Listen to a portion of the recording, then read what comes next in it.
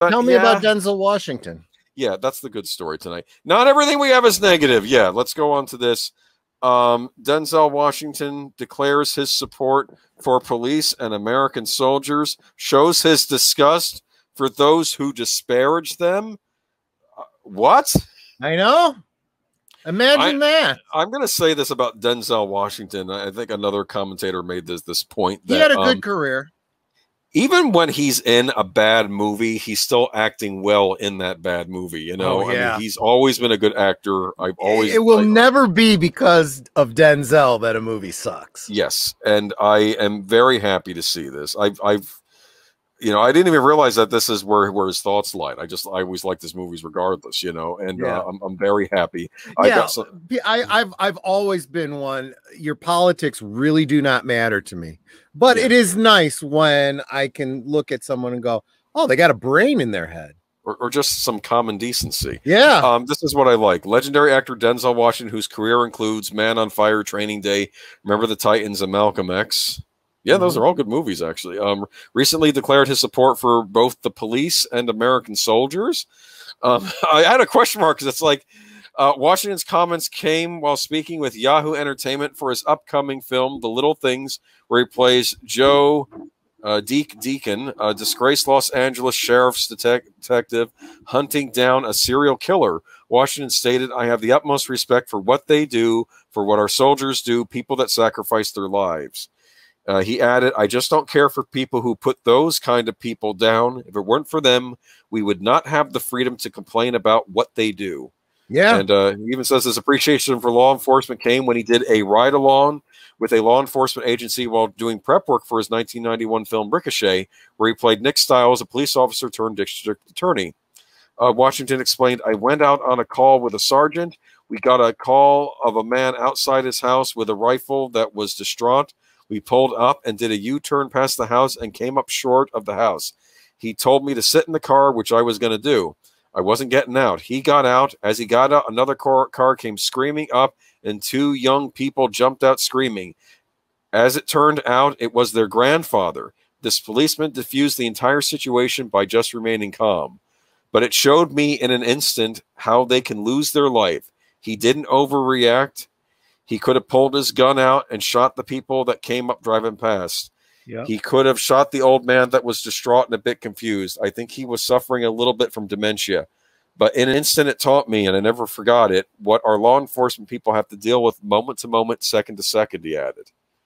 So I, these are very pleasing words to me. I, I don't know if I, I mentioned this on the, I was on the Professor Geek stream recently. My father was a police officer. So, you know, I was hearing a lot of nasty Yeah. things, uh, painting entire organizations in our country with a, with a very broad brush this summer. So I'm very thankful to see an actor actually sticking up for people who really do put their lives on the line for all of us uh, every day. You know, it's you know the people in the armed forces, people in the police, you know, in, in our police. So, you know, hats off to Denzel for this. Um, yeah,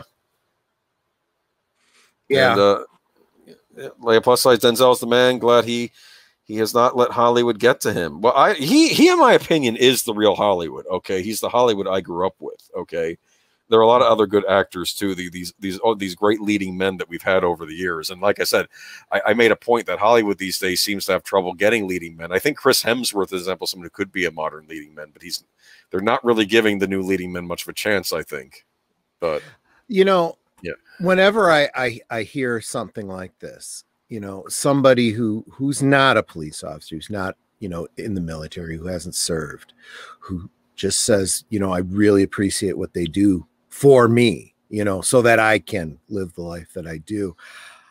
I know this the character is supposed to be seen as the bad guy but that speech that that um um uh what's his name um uh uh, well the, the character's name is jessup i that famous actor uh that played uh the joker um that he gives in a few good men Jack Nicholson. jack nicholson thank you uh that speech um always comes back to me you know when he says you don't want the truth because deep down in places you don't talk about at parties. You want me on that wall. You need me on that wall.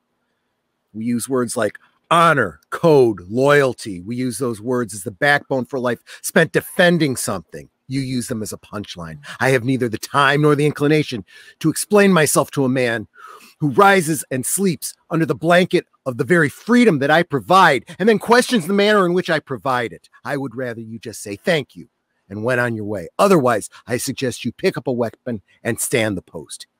Either way, I don't give a damn what you think you are entitled to. I have internalized that. Yeah, you, and you every time, good. every time I, and I never say this directly, I try never to say it directly, but whenever I indirectly show appreciation for a police officer or for someone in the military, inside myself, I am saying these things about myself.